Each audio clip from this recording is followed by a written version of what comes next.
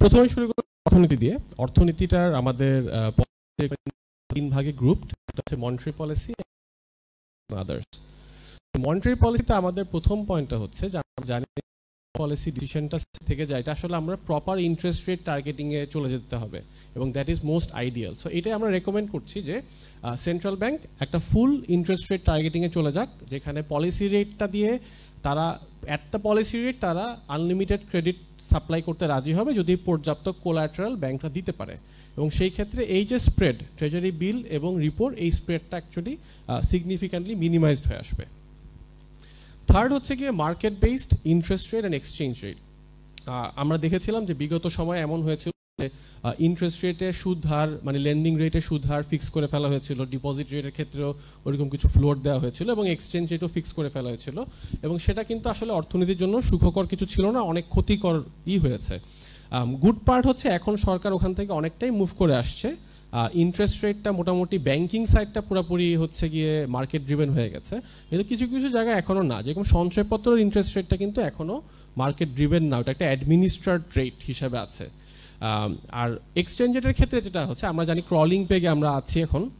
কিন্তু crawling পেগের exact মেথোডোলজিটা এটা কিন্তু ক্লিয়ার না যে কতদিন পর পর সেটাকে রিঅ্যাসেস করা হবে। আমরা মনে করি যে এখন একটা সুযোগ আছে, একটা টাইমলাইন ধরে একটা ফুল মার্কেট ড্রিভেন এক্সচেঞ্জ রেটে শিফট করা।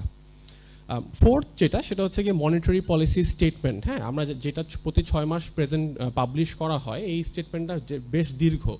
আমাদের সাজেশনটা হচ্ছে যে মনিটারি পলিসি স্টেটমেন্টের যেটা পলিসি অ্যাকশন যে আপনি পলিসি রেট কি করছেন, এই এই নাম্বারটা শর্ট একটা স্পিচের মধ্যে থাকবে। আর এটার সাথে এমপিএস এর যে বাকি যে রিসার্চগুলো থাকে, অনেক সময় ডিসিশনগুলোর পিছনে কিন্তু কিছু রিসার্চ থাকে সেন্ট্রাল ব্যাংকের সেটা একটা সেপারেট পাবলিকেশন অথবা অ্যাপেন্ডিক্সে থাকতে পারে। আর আমাদের দেশের এমপিএসটা আমার কাছে একটু দীর্ঘ মনে হয় জেনারেলি অনেক সময় রাইট পয়েন্টটা খুঁজে পেতে সময় লাগে। যা একটু শর্ট করে আর অ্যাডিশনাল রিসার্চটাকে সেপারেট করে নিয়ে যাওয়া।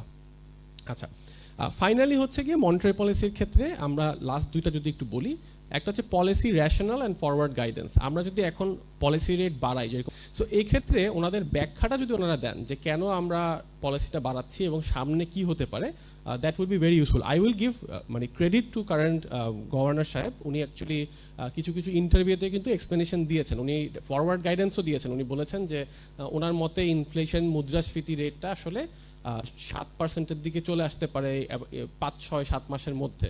সো এই ধরনের জিনিস কন্টিনিউয়েশন চাই। মানে এইখানে যাতে শেষ না হয়ে যায়, এই এক্সপ্লেনেশনগুলো থাকলে মার্কেট এই ফরওয়ার্ড লুকিং গাইডেন্সগুলোকে নিয়ে মার্কেটের প্রাইসিংয়েও এটাকে অ্যাডজাস্ট করা হবে। আর লাস্ট একটা যে মুদ্রাস্ফীতির রেটটার সাথে আসলে ইন্টারেস্ট রেটের একটা ডিরেক্ট কোরিলেশন আছে। তো বিদেশে এটা যেটা করা হয় যে যে আমরা ইনফ্লেশন ইন্ডেক্সটা দেখি, সেটা হচ্ছে কনজিউমার প্রাইস ইন্ডেক্স বা প্রাইস ইন্ডেক্স সেটার সাথে একটা কোর ইনফ্লেশন বলে একটা কথা আছে, যেখানে এনার্জি এবং ফুড প্রাইসটাকে স্ট্রিপ আউট করা হয়। এবং অনেক সময় মুদ্রা ইন্টারেস্ট রেটের পলিসিটা এটা, এটার নেওয়ার সময় এই রেটটাও দেখা হয় আর কি। তো আমি যতটুকু জানি যে বাংলাদেশ ব্যাংকের ইন্টারনাল ক্যালকুলেশন আছে এটার উপরে আমার কাছে মনে হয় যে একটা উদ্যোগ নিয়ে এটাকেও পাবলিশ করা উচিত। এবং আমরা জানি যে অ্যাকচুয়ালি আরও কিছু ডেটা নিয়েও কাজ হচ্ছে। আমরা জানি প্রাইভেট সেক্টর থেকে রিসেন্টলি পিএমআই পাবলিশ করা শুরু করেছে পারচেজিং ম্যানেজার্স ইন্ডেক্স আইএমএফ একটা বাংলাদেশ ব্যাংকের সাথে একটা কাজ করছে রেসিডেন্সিয়াল প্রপার্টি প্রাইস ইন্ডেক্স নিয়ে কাজ চলছে, যেটা ওনারা কাজ করেছেন বাট এখনও পাবলিশ হয় নাই। সো এই ধরনের উদ্যোগকে আমরা হচ্ছে গিয়ে সাধুবাদ জানাই এবং আমরা চাই যে আরও এরকম ডেটা আসুক, যেটা দিয়ে জার্নালিস্ট এবং অ্যানালিস্টরা আমাদের অ্যানালিটিক্যাল কাজ আরও সুন্দরভাবে করতে পারি। আচ্ছা আমি একটু ফিজিক্যাল পলিসিতে মুভ করি। প্রথম যে পার্টটা আমার মনে হয় ফিজিক্যাল পলিসির জন্য সব থেকে ইম্পর্টেন্ট হচ্ছে যে যতগুলো আমাদের দেশে স্টেট ওন এন্টারপ্রাইজ আছে, সেগুলো নিয়ে একটা থরো স্টাডি করতে হবে। সেগুলোর পারফরমেন্স ইভ্যালুয়েশন করতে হবে। তাদেরকে স্পেসিফিক কেপিআই দিতে হবে। এখন আপনি যখন গ্রুপিং করবেন, কয়েক ধরনের গ্রুপ তৈরি হয়ে যাবে। কেউ কেউ ভালো পারফর্ম করছে কেউ কেউ মডারেট কেউ কেউ হচ্ছে ভালো করছে না। তার মানে যারা করছে না, তাদেরকে হচ্ছে আপনার একটা পারফরমেন্স প্ল্যানে নিয়ে আসতে হবে যে কীভাবে আমি এটাকে ইমপ্রুভ করতে পারি। যেগুলো ন্যাশনাল স্ট্র্যাটেজিক্যালি ইম্পর্টেন্ট না but continuously year after year lose করছে, সেটা কিন্তু একটা অর্থনীতির উপরে একটা প্রেশার তৈরি করে। তো সেগুলোর ক্ষেত্রে সরকারের একটা দীর্ঘমেয়াদী প্ল্যান এখনই চিন্তা করতে হবে যে আমরা কি এটাকে ইমপ্রুভ করতে চাই টার্ন অ্যারাউন্ড করতে চাই, না কোনো ধরনের প্রাইভেটাইজেশন প্ল্যান আমরা এই- এসওইর মধ্যে নিতে চাই। আর যে সকল এসওইগুলো আসলে প্রফিটেবল এবং হাতে ব্যালেন্স শিটে ক্যাশ আছে, এখানে আমাদের সাজেশন হচ্ছে গিয়ে সেগুলোর মধ্যে ডিভিডেন্ড পে আউটটাকে বাড়ানো ডিভিডেন্ডটা ওই ব্যালেন্স শিটে ফেলে না রেখে এটা তাদের প্যারেন্ট অর্গানাইজেশন এবং পরবর্তীতে সরকারের কাছে যাক। টাকাটা আইডেল না থাকুক মানে সরকার একদিকে তারই প্রতিষ্ঠানে ক্যাশ ফেলে রাখবে আর আরেক দিক থেকে সরকার ট্রেজারি বন্ড সঞ্চয়পত্র থেকে বড়োইং করছে। এটা আসলে একটা ইনএফিসিয়েন্সি আর লাস্ট একটা পার্ট হচ্ছে আপনারা দেখবেন যে অনেকগুলো স্টেট ওন অর্গানাইজেশনের যেই ক্যাশগুলো পড়ে থাকে, সেগুলো এমন সকল কিছু ব্যাংকে টাকা রাখা হয়েছে যেগুলো থেকে ফেরত আসার চান্স অনেক কম। সো এই ক্ষেত্রে একটা ন্যাশনাল পলিসি আমরা সাজেস্ট করছি যে কোন ধরনের প্রতিষ্ঠানে টাকা রাখতে পারবে এটার একটা, এটা একটা সরকারের উপর, উচ্চ পর্যায়ে যদি একটা এই ধরনের পলিসি করে দেয়, তাহলে এই রিস্কটাকে অনেক মিনিমাইজ করে ফেলতে হয়। ধরেন আপনার পঞ্চাশটা ধরেন স্টেট ওন এন্টারপ্রাইজ আছে। সেক্ষেত্রে আলাদা পলিসি করা, এটা একটা ব্যান্ডউইথ লস এবং এটা, এটাও ইনএফিসিয়েন্সি আর একটা ইজি সলিউশন হচ্ছে যে, ওনারা শুধুমাত্র সরকারি ট্রেজারি বিল বন্ডই কিনুক অথবা সরকারি ব্যাংকে রাখুক। মানে এই ধরনের একটা, কোনো একটা প্রসেসের মধ্যে যাওয়া উচিত। এই ট্যাক্সের ক্ষেত্রে আরেকটা পয়েন্টে যদি আসে এটা হচ্ছে ল্যান্ড ট্যাক্স তো ল্যান্ড হচ্ছে বাংলাদেশের জন্য লার্জেস্ট অ্যাসেট ক্লাস আপনি যদি বিনিয়োগকৃত অ্যাসেট ক্লাস চিন্তা করেন stock market bond market bank হ্যাঁ মার্কেট ভ্যালুর দিক থেকে land is by far the largest মানে কোনো কম্প্যারিজনই হয় না। এবং এটা শুধু বাংলাদেশ নেই, এটা হচ্ছে সাউথ এশিয়াতেই তাই।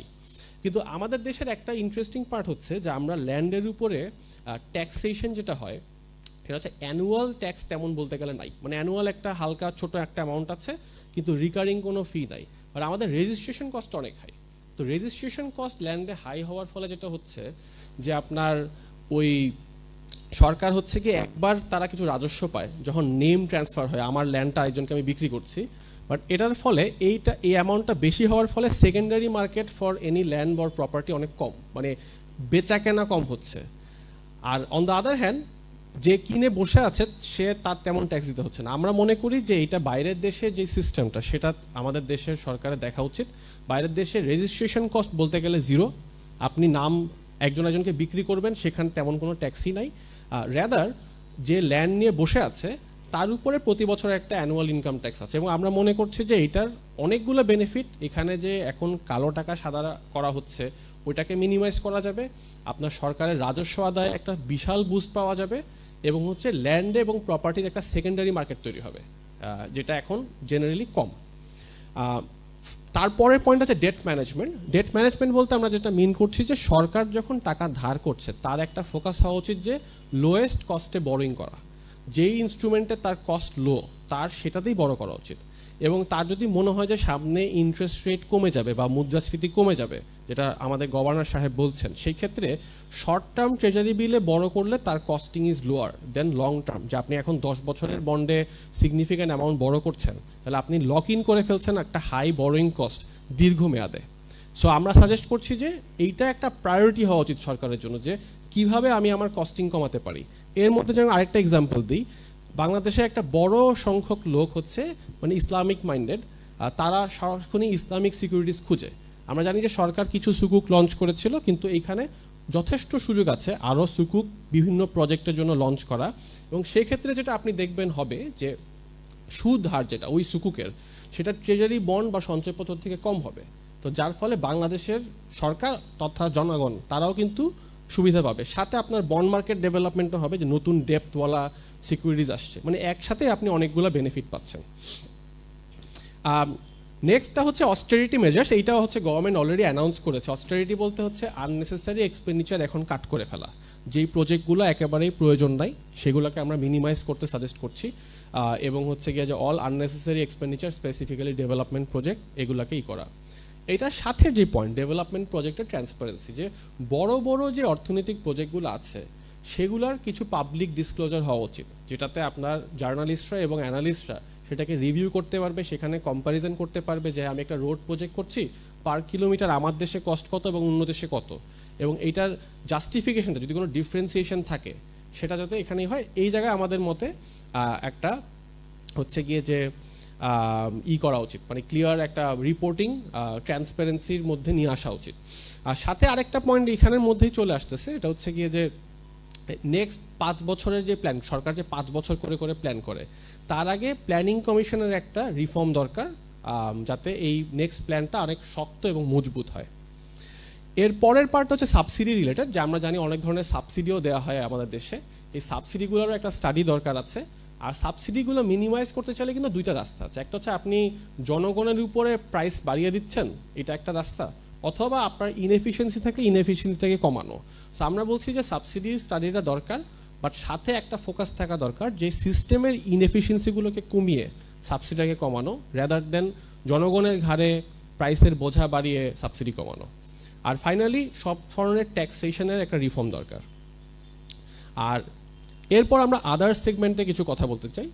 প্রথমটা হচ্ছে ইকোনমিক ডেটা ইন্টিগ্রিটি আমরা জানছি যে আগের কিছু ডেটা নিয়ে অনেক ধরনের প্রশ্ন ছিল। এফএক্স রিজার্ভ ওয়াজ ওয়ান যেখানে আমাদের ক্যালকুলেশন আর আইএমএফ এর ক্যালকুলেশনের ডিফারেন্স ছিল। এখানে আমরা জানতাম হচ্ছে এক্সপোর্টের ডেটাটা রিভাইজ ডাউন করা হয়েছে। এক্সপোর্ট ডেটা রিভাইজ ডাউন মানে হচ্ছে গ্রোথের ডেটাও কিন্তু আপনার একটা কোয়েশ্চেনেবল সো এই ক্ষেত্রে আসলে কোনো ধরনের ইকোনমিক পলিসি বা বিশ্লেষণ করতে হলে অ্যাকুরেট ডেটার কোনো আসলে অল্টারনেটিভ নাই। সো এই ডেটাগুলোর উপরে আমরা চাই সরকার জোর দেখ এবং ট্রান্সপারেন্সি বাড়াক। আর এর মধ্যে আর দুইটা পয়েন্ট যদি আমরা বলি একটা হচ্ছে এনবিআর আপনারা জানেন যে এনবিআর হচ্ছে পলিসি ট্যাক্স পলিসি নিয়েও কাজ করছে এবং তারা হচ্ছে ট্যাক্স কালেকশনও আমাদের মতো এনবিআর একটা শক্তিশালী রিসার্চ উইং থাকা দরকার যার কাজ হবে যে টু ডিসাইড যে ট্যাক্সেশন আমি কোন সেক্টরে কত দিচ্ছি হ্যাঁ, এবং এটার প্রোজ অ্যান্ড কনসগুলো কী। সেটার জন্য ওনাদের একটা স্ট্রং রিসার্চ টিম আমরা রিকমেন্ড করছি। আর শেষে হচ্ছে মাইক্রো ইকোনমিক রিফর্মস যে আমাদের রেগুলেটরি রিফর্ম কমিশনটাকে রিভাইভ করা উচিত এবং কম্পিটিশন কমিশনটাকেও স্ট্রেনদেন করা উচিত। কারণ একটা কথা আমরা বারবারই বলি যে সিন্ডিকেট সিন্ডিকেট সিন্ডিকেট তো সিন্ডিকেটের অ্যাগেনস্টে যদি আমাদের কাজ করতে হয়, সেটা আসলে কম্পিটিশন কমিশন একটা স্ট্রং ভূমিকা সেখানে রাখতে পারে। শুধু কমিশন থাকলে হবে না কমিশনের আসলে একটা তার তার যে রাইট দায়িত্ব, সেই দায়িত্বটা তাদের করতে হবে। তো এই হচ্ছে কি আমাদের প্রথম পার্ট এই এই প্রজেক্টটার মধ্যে আমি কাজ করেছি নাফিজ আল তারেক উনি কাজ করেছেন গালিবুর রহমান এবং ওমর সিদ্দিকি। আমরা এই চারজন হচ্ছে আমাদের অর্থনৈতিক যে সেগমেন্টটা সেটার উপর কাজ করেছি।